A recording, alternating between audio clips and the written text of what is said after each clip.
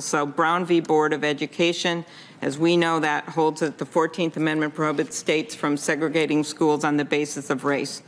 So um, is that precedent Um, But yes. that can't be overruled?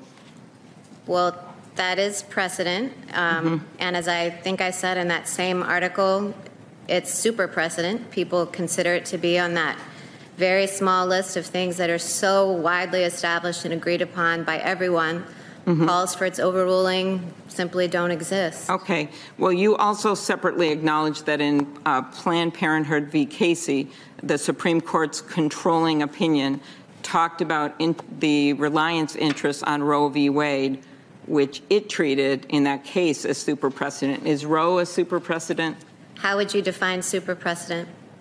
I, I, I actually, I might have thought someday I'd be sitting in that chair. I'm not. I'm up here, so I'm asking you. Okay, well, people So- use super precedent differently. Okay. The way that it's used in the scholarship and the way that I was using it in the article that you're reading from was to define cases that are so well settled that no political actors and no people seriously push for their overruling. And I'm answering a lot of questions about Roe, which I think indicates that Roe doesn't fall in that category.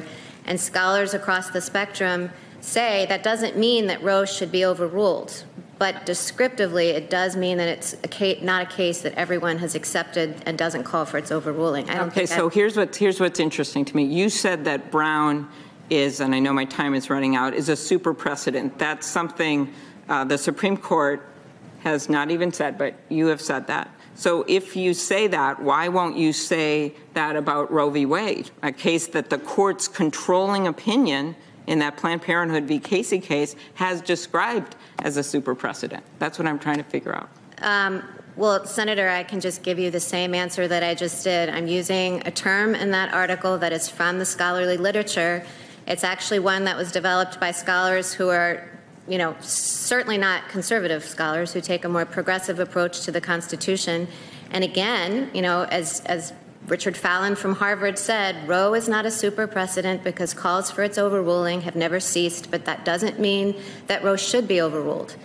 It just means that it doesn't fall on the small handful of cases like Marbury versus Madison and Brown versus the board that no one questions anymore.